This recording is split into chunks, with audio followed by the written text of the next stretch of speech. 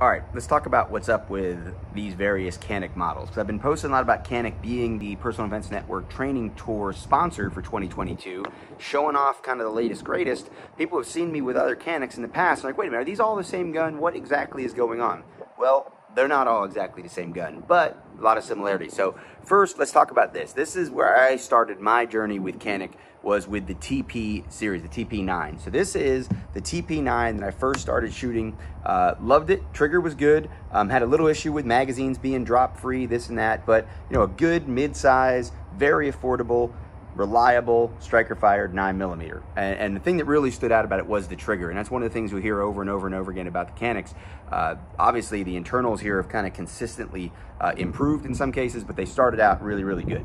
The next thing i saw was this the i always want to i always get it backwards. This is the Canik elite combat all right, now take a look at that little flat face trigger that breaks at 90 degrees flat. Uh, that is going to come back. We're going to talk about that again in a minute. But it, it, came with a threaded barrel, gold, you know, a little bit fancier, um, but TP9 at heart.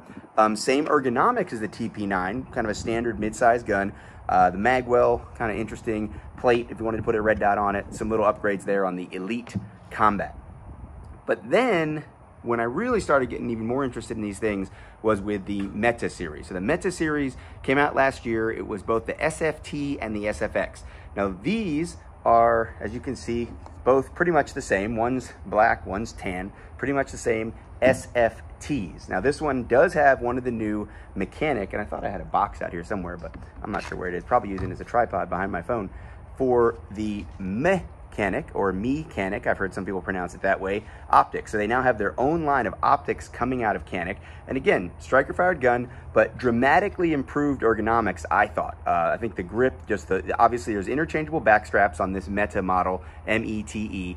Uh, you can get three different sizes, but just in general, um, the texturing is better than it was on the TP9. The contouring is better than it was on the TP9. Double undercut on the bottom of the trigger guard. Um, still a relatively large trigger guard, uh, I thought that the slide was was basically the same, you know, as far as I was concerned there, the feel there, um, but the triggers were great. Um, the magazine release um, is reversible, um, and it does come in an extended size when you get up to, you go away from the SFT up to the SFX METE. That's more the competition tactical style gun. Uh, of course, I do have an optic mounted on this one. That's a older optic. It's a shield optic. You can see that this on this one and on this one, the plate is in front of the rear sight. And we're going to talk about that in a second too. Um, but we still see that this has that standard trigger, the little red um, safety tab insert there. I did put the plastic uh, magwell on this one. It's got a longer slide. This one I also have a threaded barrel for, and I've done some shooting with this one suppressed and unsuppressed. Cool gun. Now, kind of right now, the new, the latest, the greatest, the one I've been shooting this week and, and talking about a lot is the Rival. Now, let's be honest here. The SFX and the Rival look very, very similar. In fact, the Rival says right on it, and I'll get this one situated there if I can. Oh, just put that down flat. It says right there, SFX Rival. So this is a METE SFX at heart. Um, you can see that this one um, has a lot more aggressive serrations and just kind of cooler looking serrations. This is called the dark side model. They have a gray one with gold accents, which I was, it was kind of growing on me. At first I saw it, I thought, nah, not really cool. Uh, it was growing on me. I was kind of excited to get one, but I was even more excited when I opened up the box and the one that I got was the dark side because I think this one just looks cooler and better you can see this flat front trigger again that breaks at 90 degrees is back for the rival. And this gun really is meant to be a competition gun, let's be honest. Um, I think that it might be a perfect gun for like a home defense staging, putting it in a quick access safe, something like that. A little big for carry for me personally. Um, I put a slightly larger back strap on it. Um, it just gave it more of a little bit of an in-depth curve. It pushes my hand up high on the grip, which I really like.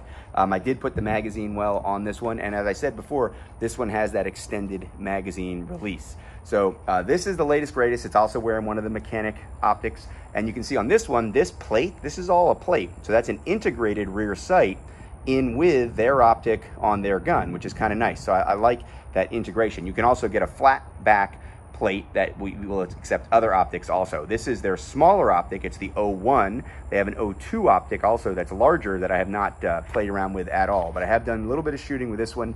Yesterday I've got, uh, I'm probably almost up to 500 rounds on this gun itself. Uh, about two thirds of those with the optic. Um, so that's that's kind of the deal. Um, if you're wondering what's going on with the Canik, what's going on with the the METE, what's going on with the Rival, um, there is a series of guns here, um, all built around pretty much the same internals. Um, very different ergonomics from the TP series up into the METE series, kind of culminating in uh, the look and feel of the Rival. Canik pistols proud sponsor. I hope they're proud. I'm proud to have them as a sponsor of the 2022 Personal Defense Network Training Tour.